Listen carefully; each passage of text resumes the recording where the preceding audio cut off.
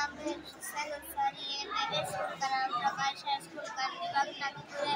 मेरे प्रयोग का नाम मेरे प्रयोग का नाम बीमारी से भरा हुआ पर्यावरण स्नेही दिलाया मेरे प्रयोग के लिए साहित्य लग रहा है। तुलसी तुलसी पत्ते, फूलों की पखुड़िया, गोबर लोहान कपूर, तेल, पानी और ये पूरे को सुखाना है। दो दिन फिर एक चम्मच लेना है, फिर उसको फिर उसको आकार देना है।